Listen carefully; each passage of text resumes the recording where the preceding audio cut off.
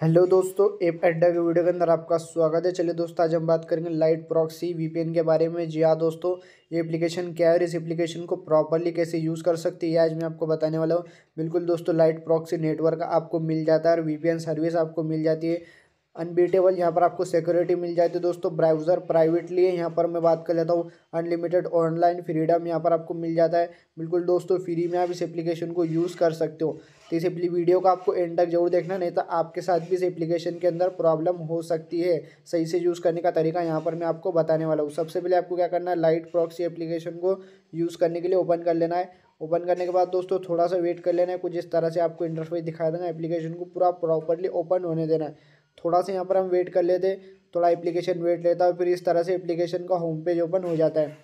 सबसे पहले मैं बात कर लेता हूँ, यहाँ पर आपको ऊपर की तरफ़ जो ये ऑप्शन मिलता है, यहाँ पर आपको इसके अंदर वीपीएन सर्वर मिल जाते, उसी के नीचे ये जो आपको बड़ा सा होम बटन मिल जाता है, इस पर अगर आप क्लिक करते हो तो आपको वीपीएन ऑटोमेटिकली भी रैंडम सर्वर के अंदर कनेक्ट हो जाता है। नीचे की तरफ़ आ जाता हूँ, मैं साइड वाले ऑप्शन में क्लिक कर लेता हूँ तो अभी फ़िलहाल में अभी कमिंग सून में यहाँ पर बता रहा है। फिर यहाँ पर मैं साइड वाले ऑप्शन में आ जाता हूँ तो देख सकते हैं अब आपको क्या करना है, जो वीपीएन सर्वर के ऑप्शन है, आपको इस पर क्लिक कर लेना है। क्लिक करने के बाद दोस्तों फिर से एक बार क्लिक करना है। फिर यहाँ पर आप देख सकते हो कितने सारे आपको सर्वर मिल जाते हैं। कोई भी सर्वर पर क्लिक करके इजीली आप अपना वीपीएन कनेक्ट कर सकते हो। एक सर्वर पर मैं क्लिक कर लेता हूँ, जैसे कि सर्वर पर मैंने क्लिक कर लिया है। अब यहाँ पर आपको कनेक्शन रिक्वेस्ट आएँगी तो आपको ओके वाले ऑप्शन पर क्लिक करना है। फिर देख सकते हैं यहाँ पर आपकी कनेक्टिंग स्टार्ट हो जाएँगी।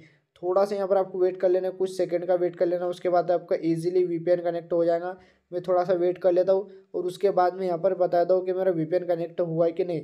बाकी मैंने स्टेप बाय स्टेप तो आपको बता दिया कि कैसे आप step by step VPN select server select करके वीपीएन कनेक्ट कर सकते हो। तो देख सकते हो दोस्तों कनेक्ट सक्सेसफुली कनेक्टेड यहाँ पर मेरा हो चुका है, यानी कि वीपीएन कनेक्ट हो चुका है। यहाँ से मैं बैक आ जाता हूँ। तो बिल्कुल दोस्तों, इस तरह से आपको वीपीएन कनेक्ट होने के बाद इंटरफेस दिखा देंगे और बिल्कुल इजीली एकदम फास्ट आपका नेट भी चलेगा लाइट स्पीड के साथ में यहाँ पर चलेगा और दूसरी कोई भी आपको प्रॉब्लम नहीं आएँगी। डिसकनेक्ट करना है तो जो होम बटन है, आपको इस पर क्लिक कर लेना है। यहाँ पर आपको डिसकनेक्ट का ऑप्शन आ जाएगा, इस पर आपको क्लिक कर लेना है। वन क्लिक के अंदर आपका वीपीएन डिसकनेक्ट भी हो जाएगा बिल्कुल दोस्तों। ऐसे अगर आप यूज़ करेंगे तो आपको कहीं पर भी प्रॉब्लम नहीं आएँगी। वीडियो अच्छी लगेगी तो प्लीज़ वीडियो को कर देना लाइक और चैनल को कर देना सब्सक्राइब